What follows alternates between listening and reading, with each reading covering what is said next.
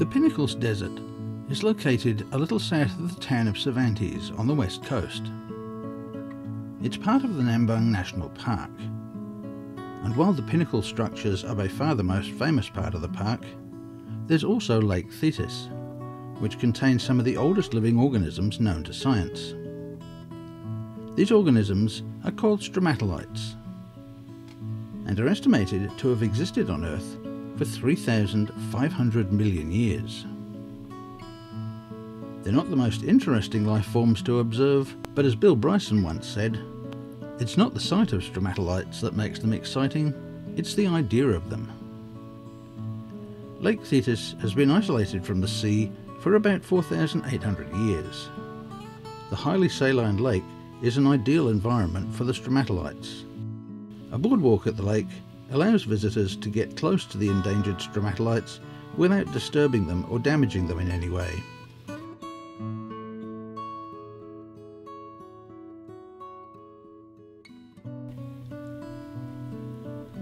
The pinnacles were once thought to be the remains of an ancient city and may have appeared on Dutch maps as early as 1658. There are about 150,000 individual structures.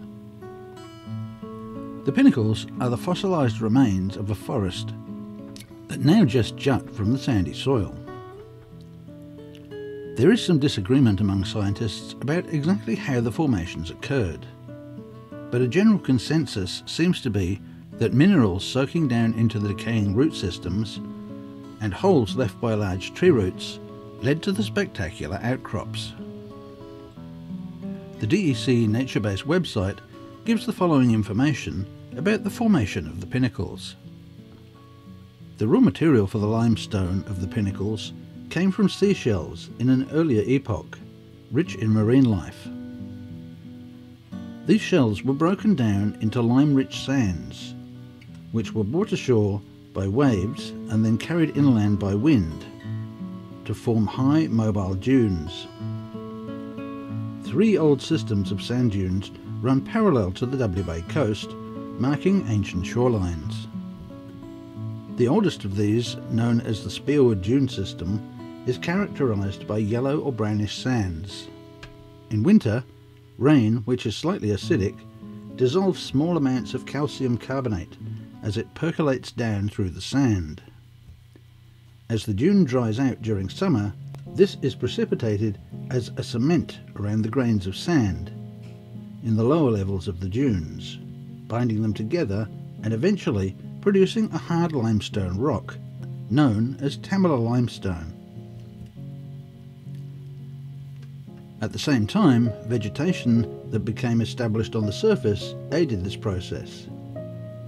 Plant roots stabilised the surface and encouraged a more acidic layer of soil and humus, containing decayed plant and animal matter, to develop over the remaining quartz sand. The acidic soil accelerated the leaching process, and a hard layer of calcrete formed over the softer limestone below. Cracks which formed in the calcrete were exploited by plant roots. When water seeped down along these channels, the softer limestone beneath was slowly leached away, and the channels gradually filled with quartz sand.